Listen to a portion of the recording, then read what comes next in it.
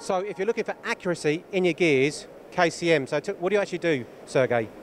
Uh, we produce uh, gear, uh, different types of gear machines. Uh, this one, which is presented in our stand here, uh, uh, this is for grinding gear spare parts for any types of gear um, boxes, or uh, it could be used in um, uh, automotive industry. It could be used in uh, uh, aerospace and so on, uh, agriculture.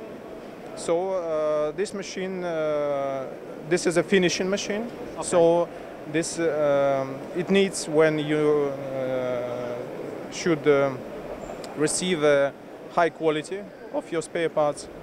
So um, usually this is the most uh, difficult machines because uh, when you produce machine for grinding, it should be uh, mm, as uh, accurate as accurate as uh, this machine, much more accuracy. So So you'll get, for an example, you get a component here, that'll come to you, it's been turned and the gear has been cut, yes, but then you'll grind it.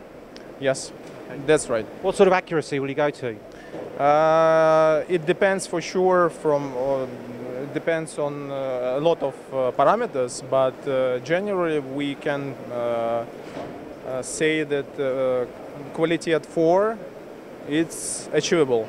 Okay, Yes, good uh, stuff. probably three, but uh, you, you, it should be uh, temperature 22 degrees, something like that. Uh, it should be a lot of characteristic. Um, steel should be made uh, very, very, uh, uh, you know, um, steel is not uh, as good as it was 30 years ago. Ah. ago. Okay, so we, we, we, we won't, we won't Number four. okay, number four. But uh, so what you're doing then? So say automotive is going into a bus. The reason you're grinding this gear is to make why? Is it to make it quieter?